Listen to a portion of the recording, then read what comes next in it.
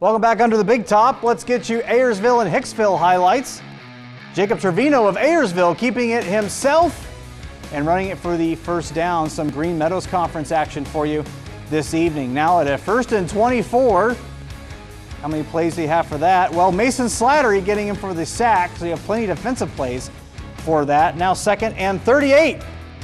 Ayersville looking to pass again, but the Hicksville defense getting to him once again for the sack. These would be very big plays. Now Hicksville with the ball, the toss to Cole Wordman.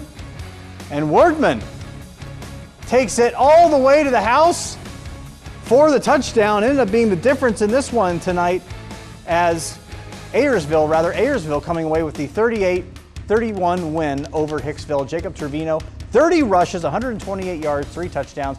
Cole Wortman for Hicksville, 180 yards rushing, four touchdowns.